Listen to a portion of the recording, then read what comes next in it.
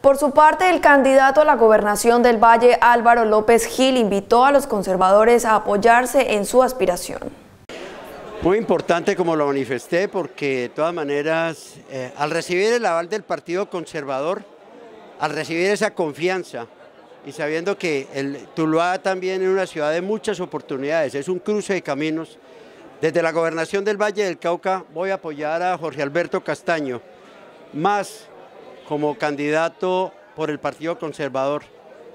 Yo invito a Jorge para que busquemos hacer las alianzas con los demás partidos, con los demás grupos y podamos tener consolidado este triunfo y así buscar que el departamento del Valle del Cauca, que es una tierra de oportunidades, sea la número uno de Colombia. ¿Busca unificar los votos de los conservadores aquí en Tuluá con un solo candidato? Ningún partido gana solo, todo partido tiene que salir a buscar las alianzas, los amigos. Lo que ha dicho Jorge Alberto me parece que es muy claro.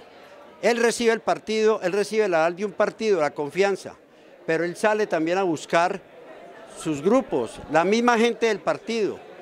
El Partido Conservador aquí hace muchos años unidos podría estar en los 11, 12 mil votos, pero no ganamos solamente con el partido. Hay que salir a buscar los demás grupos y las demás alianzas para poder llegar a la alcaldía de Tuluá y lo mismo que a la gobernación del Valle del Cauca. Doctor Álvaro López, terminando su discurso usted dijo que no tenía delito, no entendimos el mensaje, ¿a qué se refería?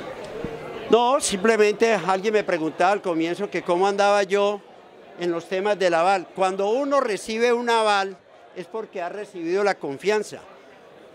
Un aval pasa por la ventanilla única del Ministerio del Interior y le revisan a uno si tiene delitos o no tiene delitos.